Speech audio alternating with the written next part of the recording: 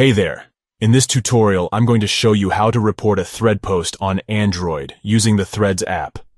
Reporting a post is important if you come across content that violates Instagram's community guidelines. So without further ado, let's get started. Step 1. Download and install Threads app.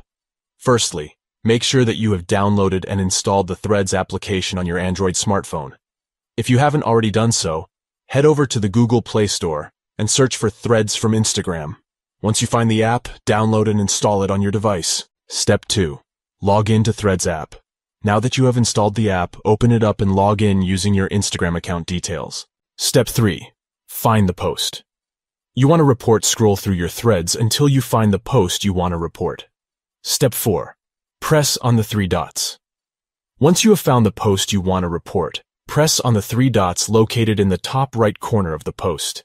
Step 5. Choose Report. In the options that appear, choose Report to report the post. Step 6. Choose why you're reporting the post.